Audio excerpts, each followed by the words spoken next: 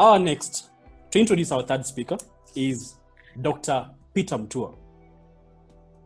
He says his mother's superpower was the ability to cook. Ladies and gentlemen, I think this is the one superpower that is highly underrated. Over to you, Dr. Peter Mutua. The only reason I was able to say that is because I know my lovely wife is not going to be on this forum. Yeah. none is going to tell on me unless some of you will snitch. And then, but I'll catch up with you. I've counted everyone. I've taken a screenshot. If this news leaks, I'm coming for you. Nyabonyi, Momanyi Nyabonyi is a is she is delivering her advanced communicator gold this is a place where the CCs and the ACs and the all lead to the, uh, the climax of this whole program in terms of the speaking places is the advanced communicator gold, and there are special manuals for that purpose. And the manual she has spoken, she's delivered from today, is an oratorical speech. And there's a background to this speech, and I'm going to read the background so that then I introduce Momanyi Nyabonyi. And the background to the speech is this Julia Gillard is an Amer- Australian former pol- politician who served as the 27th Prime Minister of Australia. She was the leader of the Australian Labor Party from 2010 to 2013. For the three years that and three days that she was the Prime Minister of Australia, people debated the fit of her jackets, the size of her bottom, the tone of her voice, the legitimacy of her rule, and whether she had chosen to be deliber- deliberately barren. The sexism was visceral and often grotesque there were placards crying, Bitch, ditch the witch. Toys designed for dogs that encourage them to chew on the fleshier parts of her anatomy, and a menu offering the Julia Gillard Kentucky Fried Quail, small breasts, huge thighs, and a big red box. Prior to her speech, Julia Gillard had received backlash from the American media, from the Australian media, and members of the official opposition party that targeted her gender. Her personal life also faced scrutiny, particularly as she was unmarried and childless. The opposition leader at that time, Tony Abbott, had risen in parliament, had risen in parliament with a motion to have Peter Slipper removed as speaker over the crude and sexist texts that Peter Slipper had sent to, to an aide. Julia Gillard's address to Parliament in response to the motion to have Peter Slipper removed as Speaker has been celebrated in the public as the most unforgettable moment of Australian TV history. Today, we have that speech truncated and read to us by none other than Momanyi Nyabonyi. And the title of the speech is Double Standards, Momanyi Nyabonyi, Double, Momanyi Nyabonyi, Double Standards. Warm round of applause.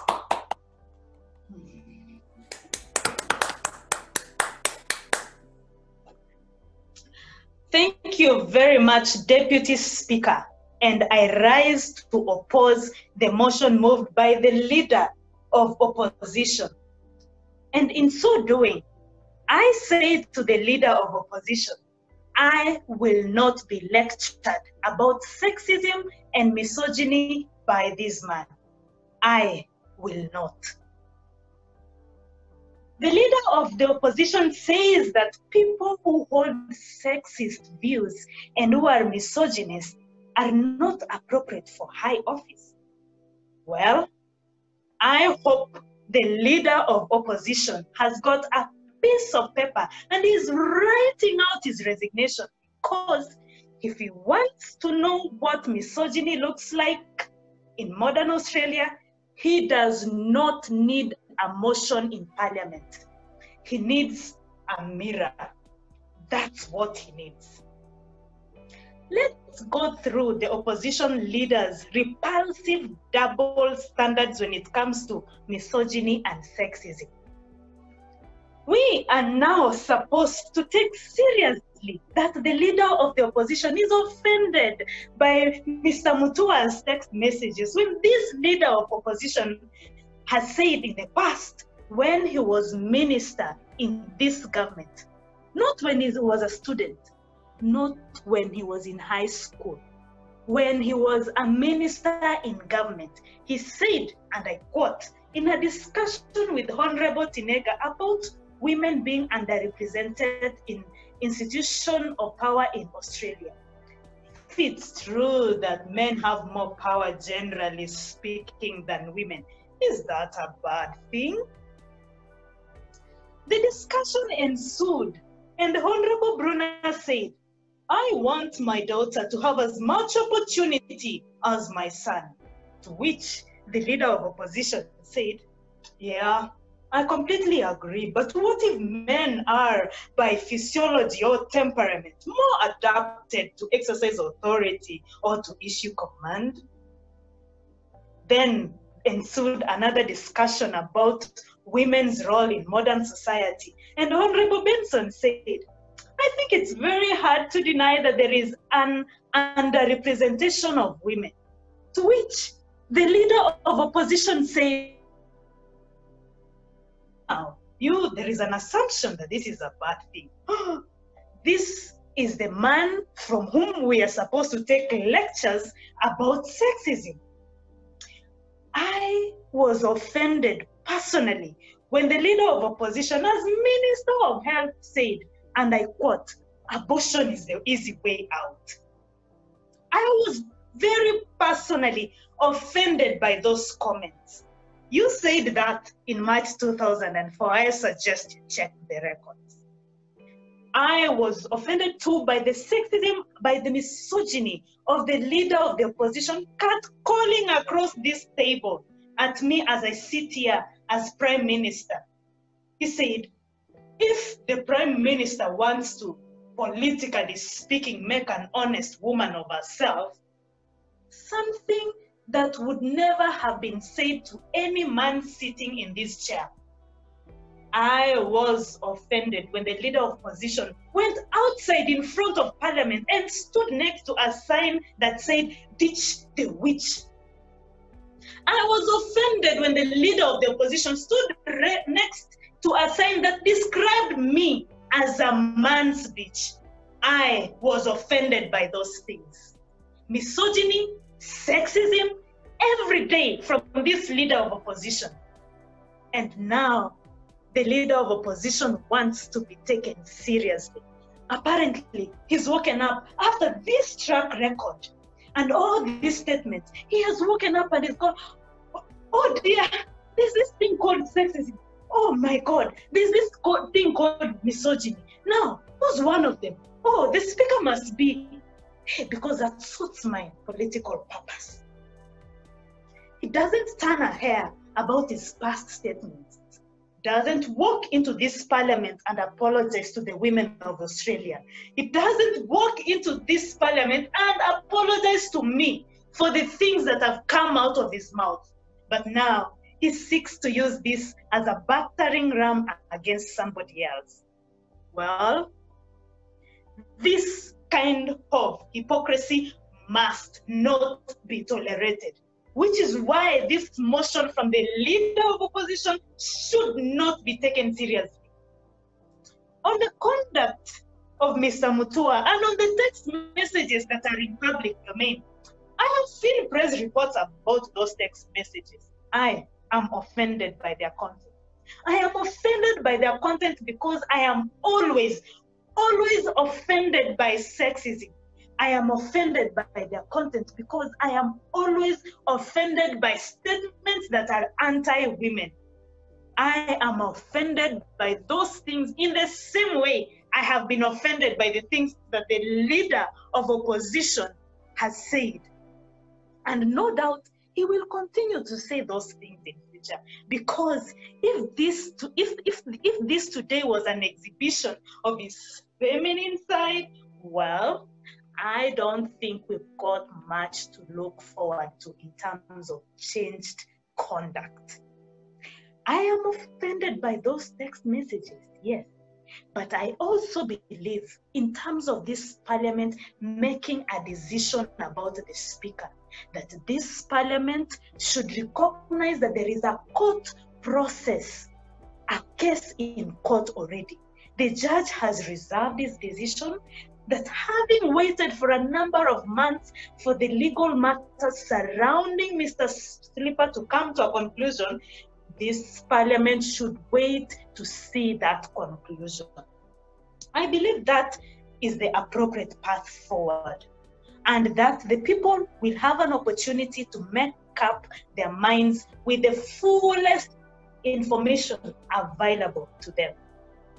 What, Mr. Speaker, I will never stand for is the leader of opposition coming to this place and peddling a double standard.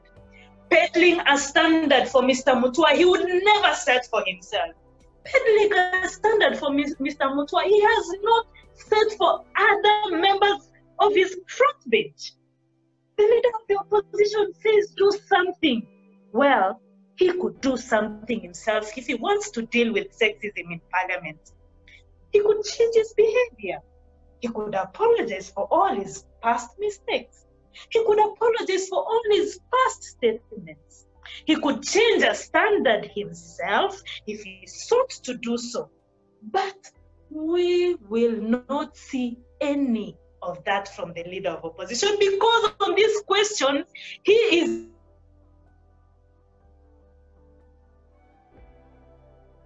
incapable of change. Incapable of change. Is an inestimable double standards should not rule this parliament. Good sense, common sense, proper process is what should rule this parliament. That's what I believe is the path forward for this parliament. Not this kind of double standard and political game playing imposed by the leader of opposition, now looking at his watch because apparently a woman has spoken too long. And on that basis, Mr. Speaker, because of the leader of the opposition's motivation, this parliament today should reject this motion, and the leader of the opposition should think seriously about the role of women in public life and in Australian society because we are entitled to a better standard than this. Toastmaster of the day.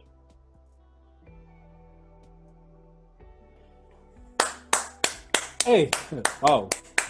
Thank you so much, Momanyi, Madam Prime Minister.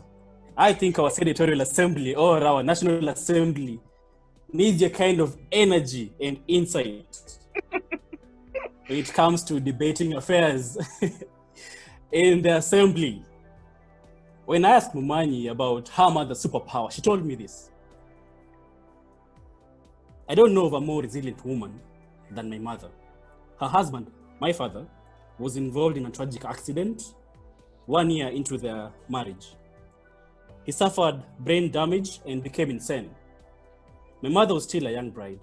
She should have left him and remarried, but she stayed, raised these children single handedly, and nursed him till his death 14 years later. She truly honors her, and I must say, your mother must be one very proud person because of the person that you have become today. So thank you so much, Fumanju, for your very insightful and very uh, high energy presentation.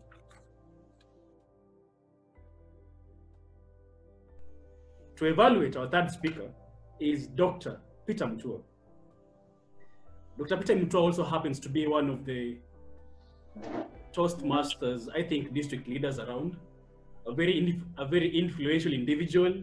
I was in a past meeting and they were asking who their most the most inspiring Toastmasters leader is. And one of the guys said it's Dr. Peter Mutua. So you guys are in the presence of royalty right here. when I asked Peter Mutua what's the most important life skill her mother taught him, he says it is resilience and don't go down easy. Over to you, Dr. Peter Mutua. Mr. Toastmaster, fellow Toastmasters, welcome guests. I have stood because it seems that the people who mistake the fact that I'm sitting down to be the fact that I'm weak. I am not weak, I tell you. I even have a lectern in the house, a lectern. No woman in the house that I know of has a lectern in the house. No woman. Hmm. So let it be known. Let it be known and let all of you see me and I wish I take measure to measure with. So to measure the dimensions so to agree on these things. But having said that, I'm very honored to speak at this meeting, particularly because I studied in JKUAT. And one of the things that I wished would have been there was the ability, the teaching of people to speak in public. Because as a management trainee in an engineering firm, the most, the most sorely missed skill that I had was that of communicating and leadership. And you know, you can pass your engineering exams, but if you cannot explain these concepts to the people you're working with, if you cannot lead, then you cannot be effective. So you're on to the right track, and I want to encourage you to take this seriously and invest in it. But having said that, that was not about the evaluation is not about JKUAT, it's about Momanyi. She's on her way to the ACG, the Advanced Community Community Code, which is her only barrier to the uh, distinguished Toastmaster. And it has taken a lot of fighting with this young woman here. And you know, she's a lawyer. And arguments about why it is that it is not necessary for me to. After all, I am a good communicator. Why should I go, go and do all these education programs? So for her to have arrived here is a great feat. The beauty about this manual is that the directions on what I'm supposed to do are very clear. So we're just going to go question by question. Did the speaker reveal the original speaker's intelligence, original speaker intelligently and significantly and with adequate feeling? Yes. I'm convinced that Momanyi feels very strongly about this, this issue. She's very vocal about it, obviously. And she excellently selected a topic that is not normally and ordinarily addressed, especially in a Toastmasters meeting, because I've never heard about this speech before. Was the speaker comfortable with the project? Yes, she was. Much as she was reading from a script, and the, the reading is obvious because again, if your speech is going to be that long, you're going to need to read it. You go, you don't generally memorize it. But this topic was excellently selected. Was she comfortable with the speech? Yes, she was. Did she establish rapport with the audience? Yes, she did. Eye contact was excellent, and she did that using various devices, and she'll tell you about it when, if you, are when and if you ask her. Did she inspire us? Yes, that is certainly so, because this is an issue that we need to address very carefully, because JKUAT is a bit of a, a different situation where the ratios of men to women do not permit this kind of misogyny to take root or to be exercised, but there are other places where this thing happens. What could she have done differently? And herein lies the challenge. And I want you to understand very clearly the evaluation in a Toastmasters meeting is subjective. It depends on me, what I saw from where I was sitting, and what I considered valuable. So I thought that Momanyi gave a little too much emphasis onto the body language and the gestures, which the manual encouraged her to do.